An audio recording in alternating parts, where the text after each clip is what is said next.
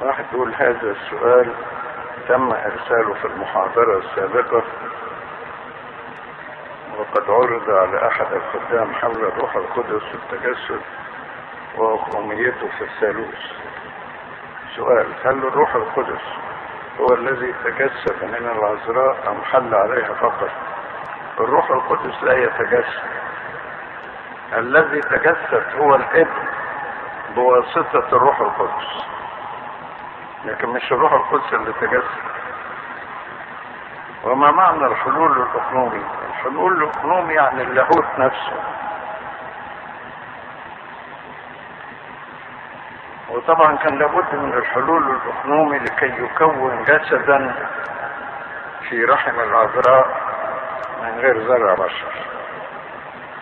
السؤال الثاني هل الروح القدس هو الذات الإلهية أم في الذات الإلهية؟ لا هو الذات الإلهية. هل الروح القدس هو اللاهوت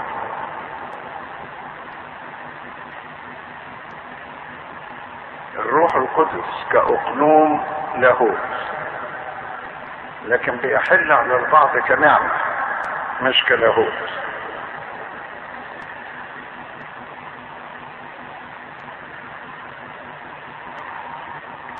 هل أرواح هل أرواح الملائكة تتجسد؟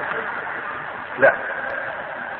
لكن ممكن تظهر في هيئة أجساد دون أن يكون لها أجساد.